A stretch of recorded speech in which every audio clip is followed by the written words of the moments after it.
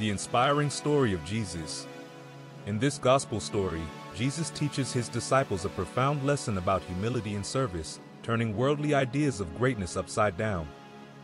Through his words and actions, he reveals that true greatness is found not in power or status, but in becoming the servant of all. The following key points will be explored in this gospel story.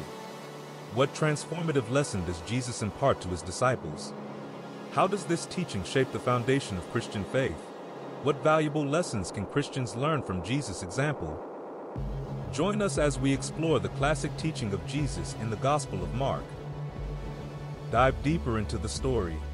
Timeless truth. Jesus teaches that true greatness is found in humility and service.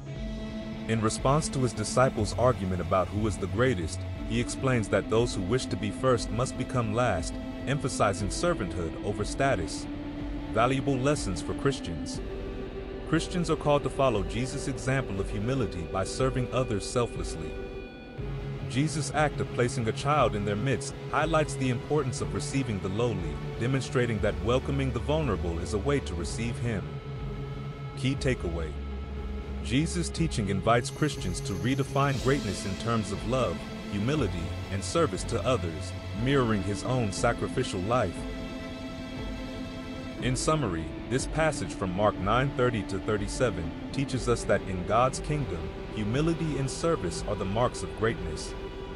By welcoming the least among us, we welcome Jesus himself, and through him, we encounter God.